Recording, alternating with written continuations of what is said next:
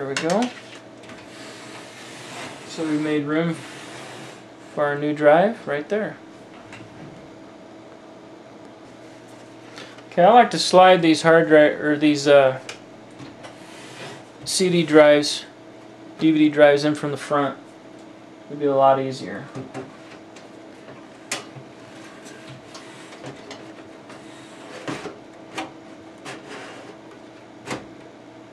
There we go. This particular box has a has a locking sleeve here. Just push that down, lock it into place. Not quite done yet. Need to install a couple bolts on the other side to secure it in place and also to ground it. So you don't want to forget to do this. If I can get the box off or the side off here.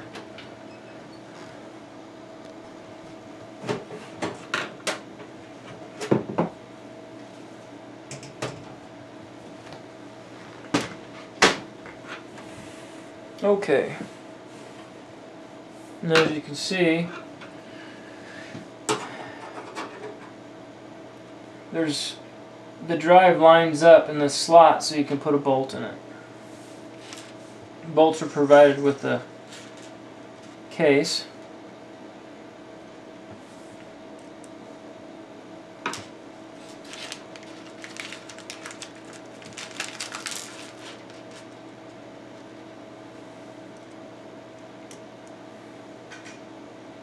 It does help to have a magnetic tipped uh, screwdriver here, which I don't.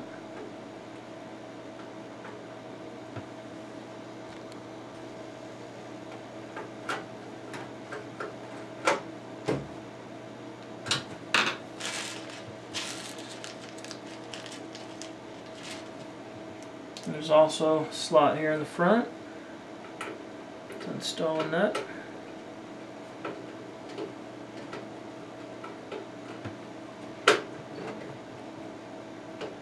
Okay. We'll go ahead and leave this cover off of this side just in case we need to access this side again.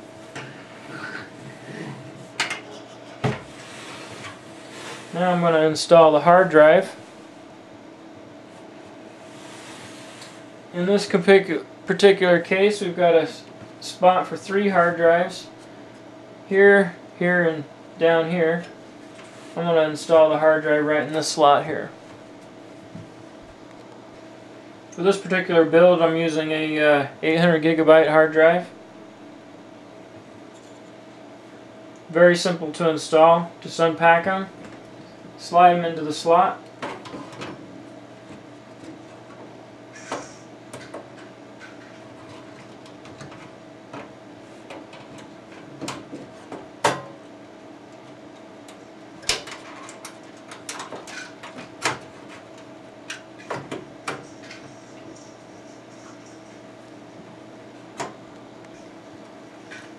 Okay, I think we're going to go down one slot. This slot here is for a floppy drive. I don't think anyone uses anymore. So we're going to go down into the bottom here. Okay.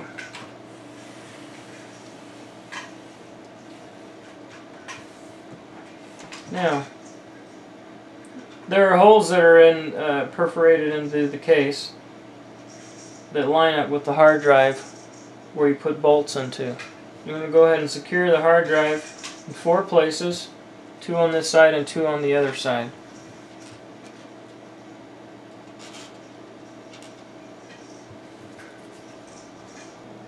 Okay, now we have the hard drive installed. It's ready to go.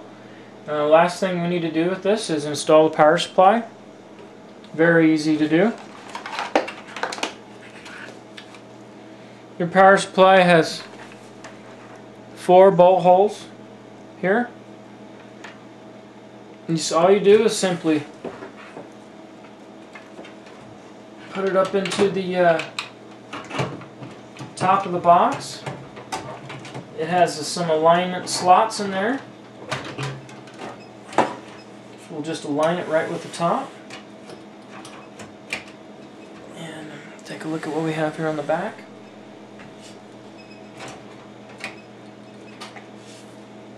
There we go. As you can see, the bolt holes are lined up.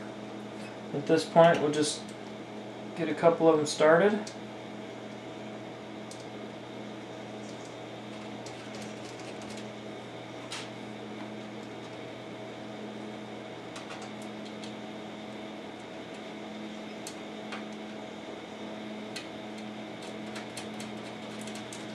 I'll go ahead and put the rest of those in.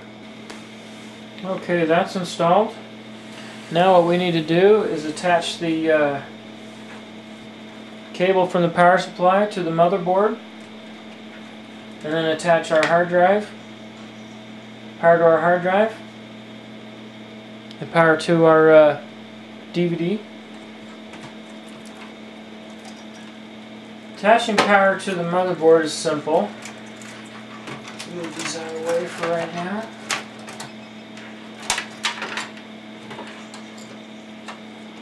This big connector here, there's only one of them, and it only attaches one way.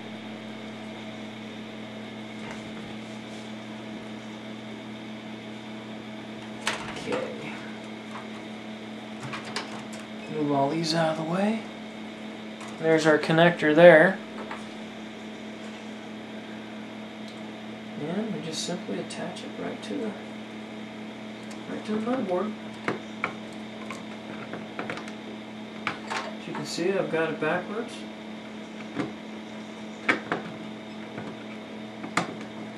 There we go. Attaches just like that. Next, we want to give power to the motherboard. And we have a connector here that is specifically designed to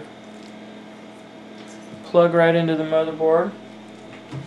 And that plug is right here.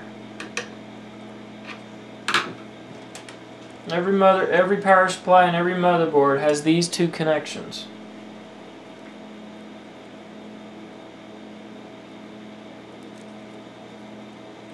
Let's go ahead and install that.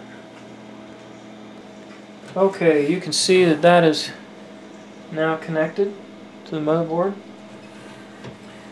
Now I want to connect the power to the DVD drive and the hard drive. The uh,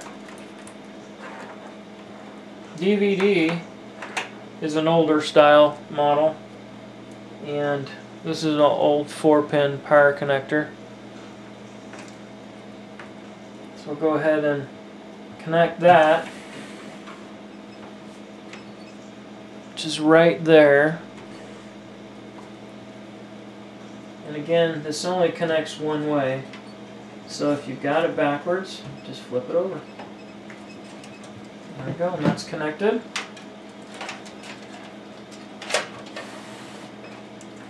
Now we want to hook up the hard drive and it's an it's a newer style hard drive. Takes this type of power connection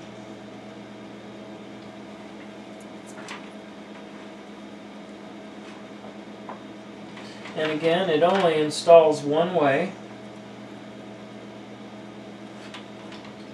Very easy to do. Plugs in just like that. Okay. Now that all components of the computer have power, I want to take all these leftover cables. We're going to stuff them up in here neatly out of the way. This helps keep everything clean and professional looking. It also helps um, the air movement through the computer. So to keep the computer cooler, we don't have a bunch of wires in the way to, to stop the air. I like to stuff them up in here in the empty drive bays. Everything out of the way.